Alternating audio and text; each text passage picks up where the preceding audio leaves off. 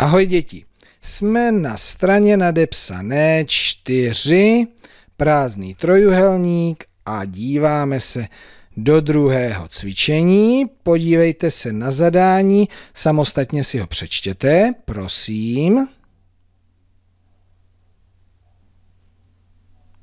Nyní já. Nakresli a napiš jedničku menší, větší rovná se. Tak společně uděláme to první porovnání.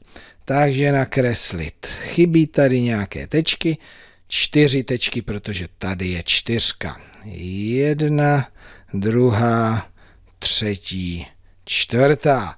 Tak a teďka musíme ještě dopsat sem číslici, jedna, takže tady je jedna tečka, porovnáme, samozřejmě 4 je větší než 1. Rozumíte? Ještě moc ne, tak ještě jeden uděláme společně. Tak, 3. 3 tečky. Nejdřív je kreslím, jo? 4. A já je můžu nakreslit ještě jinak. Třeba jak?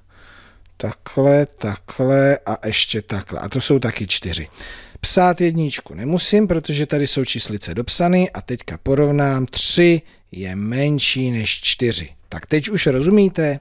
Bezvadný. Přerušte video, dodělejte tahle ta dvě porovnání a za chvíli se sejdeme a porovnáme si svá řešení.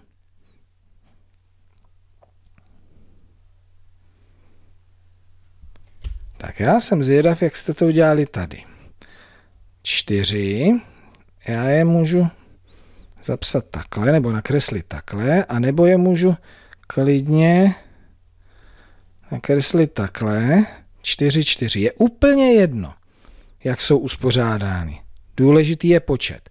1, 2, 3, 4, 1, 2, 3, 4. Rovná se 4, rovná se 4.